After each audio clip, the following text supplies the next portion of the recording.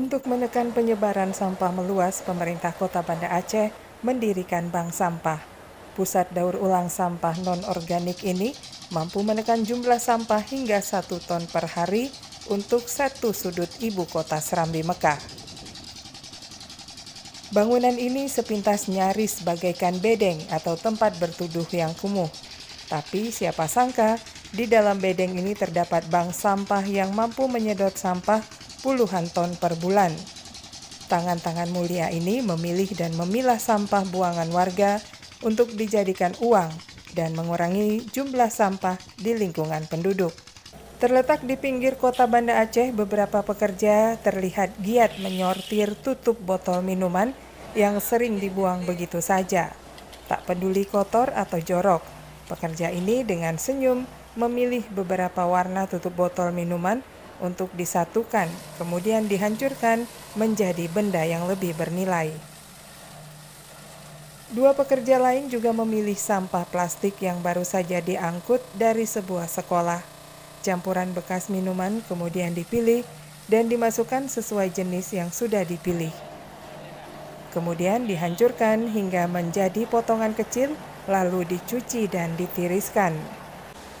Seorang ibu nyaris tak kenal lelah bergerak ke berbagai sudut bedeng untuk memilih sampah dan memungut cucian potongan plastik yang turun dari mesin penghancur. Usianya yang tak lagi muda tidak menurunkan semangat kerjanya. Muhammad Nazir, petugas Dinas Kebersihan Kota Banda Aceh yang diberi tugas juga tak henti mengawasi proses penghancuran sampah plastik. Pengalaman bekerja selama belasan tahun membuat Nazir mencintai pekerjaan sebagai penanggung jawab program berbasis masyarakat ini. Bank Sampah Panterik, Kecamatan Lungbata, Kota Banda Aceh. Ini adalah satu dari beberapa sentra pengolahan sampah, terutama sampah plastik di Banda Aceh. Ada beberapa bank sampah yang dibangun Pemko Banda Aceh untuk membiasakan warganya mengutip sampah, kemudian menjualnya ke sentra daur ulang itu botol mineral semua jenis botol yang plastik kita terima semua. Kemudian botol itu kalau bahasa pasarnya bahasa dagangnya itu PET kemudian ada jenis HDT jadi HDT seperti alat kosmetik kemudian ada seperti botol-botol jerigen oli atau jerigen minyak. Itu yang kita apa kita produksi.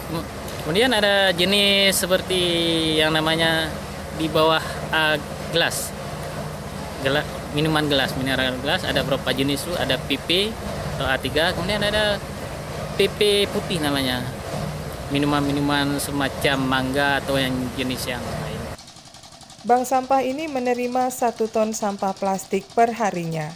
Karena kapasitasnya kecil, Nazir mengaku hanya sanggup menampung satu ton sampah plastik. Untuk setiap kilogram plastik, pihak Pemko membayar hingga Rp3.000. Memang tidak banyak, tapi jerih payah tak percuma. Selain bisa menambah pendapatan, sampah pun bisa tertampung di sentra ini. Mukhtarudin Yakob melaporkan dari Banda Aceh.